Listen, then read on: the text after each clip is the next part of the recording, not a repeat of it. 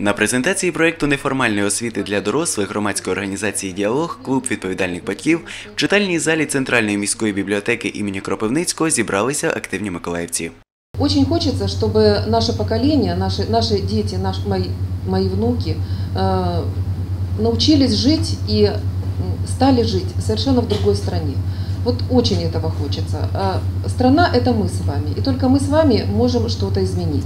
Наши дети ни- ничему не научатся хорошему, если мы, ничему, хоро- если мы ничего хорошего не сделаем. Это я точно уже знаю. Майстрами школи впродовж чотирьох місяців буде організоване навчання в майстернях, ефективні комунікації, арт-терапія та драматерапія, батьківський лікнеп.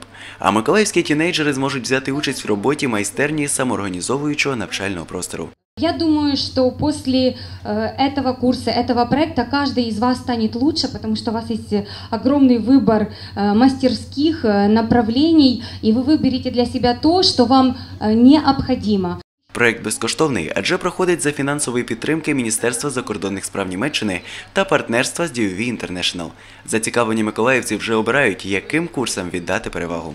Меня впечатлило, что на эту встречу собралось очень много людей, которые заинтересовались этим проектом, которые действительно хотят меняться ради будущего поколения. Я вообще планировала идти на эффективные коммуникации, потому что люди ну, общаются, и общение – это начало всего.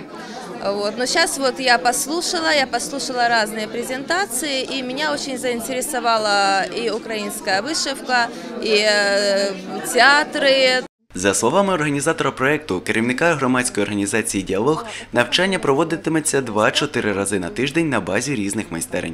Я надеюсь, что здесь, в этом проекте, окажутся самые активные э, жители города Николаева.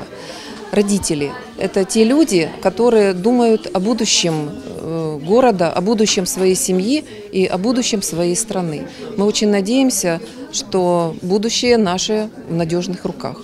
Віктор Дяченко, Олександр Пан для телевізійних новин Миколаївщини.